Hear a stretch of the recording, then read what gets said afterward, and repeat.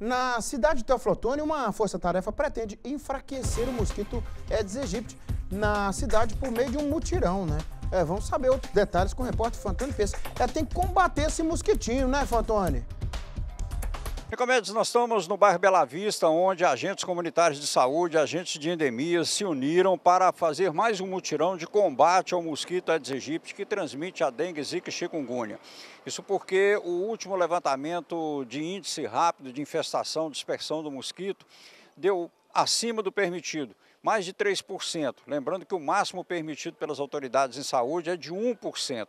Então, por conta disso, resolveram fazer mais esse mutirão na Zona Norte, no Bela Vista, onde mais uma vez o índice deu muito concentrado e que a gente observa nas imagens que os agentes estão recolhendo na, nas ruas, nas casas, é realmente aquela falta, em princípio, pode ser aquela falta de 10 minutos dos moradores para evitar os focos do mosquito. Então, logo mais no MG Record, nós vamos trazer mais detalhes dessa, dessa ação dos agentes que estão até as 4 da tarde aqui em Teoflotone, principalmente na Zona Norte e bairros da área da Zona Norte para recolher esses materiais e evitar que as pessoas se contaminem. Mas, evidentemente, Nicomedes, as pessoas têm que colaborar. Fantoni Peço para o Balanço Geral com as imagens de Victor Cui.